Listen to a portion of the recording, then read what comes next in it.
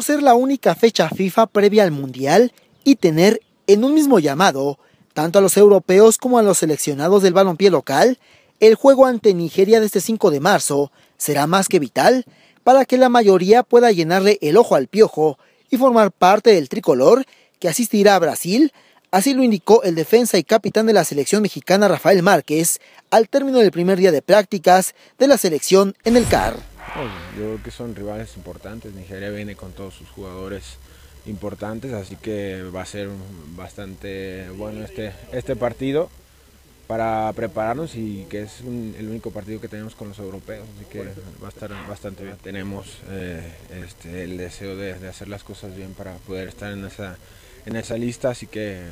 todos vienen con entusiasmo de trabajar. Rafa Márquez también confió en que la baja de nivel que viven algunos americanistas llamados como el Topo y el Maza no repercuta en el amistoso del 5 de marzo.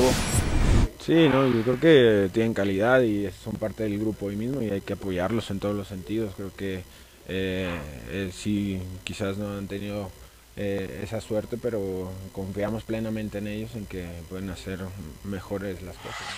Cabe destacar que durante este primer día de trabajos en el CAR, solo 16 de los 17 llamados por el Piojo hicieron trabajo en estas canchas, ya que Miguel Ayun acudió a revisión médica. Enfoque Deportes, Carlos Guzmán.